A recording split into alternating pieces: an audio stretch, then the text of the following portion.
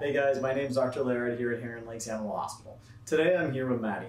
Maddie is a seven year old female spayed uh, Jack Russell. And Maddie's coming in today for a couple of different reasons. The main reason that we're going to be focusing on her visit for today is the fact that she's chewing her feet. And so Maddie um, is chewing her feet, we suspect, because it's tied to what we would call seasonal allergies, otherwise known as environmental allergens. And so those are just, you know, um, the pollen from flowers or weeds or from the trees and that kind of stuff. And we live here in South Florida, and so a lot of times we will have things blooming all year round, but there are certain things that will really set off patients. And so when you have a dog that has seasonal allergies, there are a couple of things to take into consideration. First, you want to know that it's probably not going to be that bad in the beginning.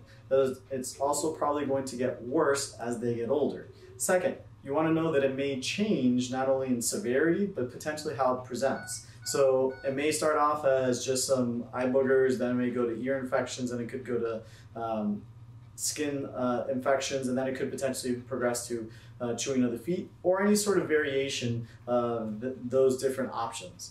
The other thing that you want to know is um, it's going to happen in waves.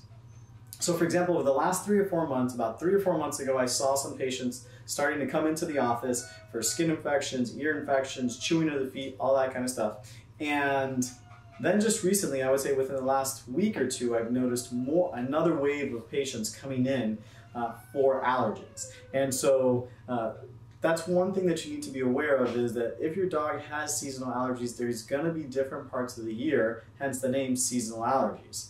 Um, that being said, Maddie in January to March only needed allergy needed one injection of something called Cytopoint from January to March, almost eight weeks. Now um, it's been a little less than four weeks, and we're coming up, and she's starting to chew again. So different times of the year, um, if your dog is on allergy medications, are going to require different dosages. The hope is to get your dog down to the lowest effective dose um, that will control your dog. So that way we don't have to have them on drugs as much, um, or as, as, we can have them on drugs as little as possible.